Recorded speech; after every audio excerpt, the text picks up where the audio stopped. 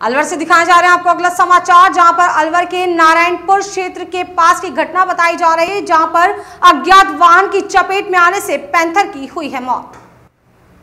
अलवर नारायणपुर क्षेत्र के सीमावर्ती ग्राम तालवृक्ष के पास प्रातःकाल अज्ञात वाहन की टक्कर से पैंथर की मौत हो गई, जिससे अविलंब कार्रवाई करते हुए सूचना मिलते ही रेंज अधिकारी दिलीप कुमार ने दिशा निर्देश जारी किया और मौके पर पहुंचकर शव को बरामद कर डॉक्टरों की टीम को पोस्टमार्टम के लिए सुपुर्द किया है, जिसमें नारायणपुर तहसीलदार रामचंद्र नारायणपुर, थाना प्रभारी अजय सिंह शेखावत एवं स्टाफ समस्त वन विभाग स्टाफ जो भाव विभोर हो गए, इस प्रकार से अंतिम संस्कार किया गया। प्रातः सूचना मिली एक नर पैंथर तुलसीवाला में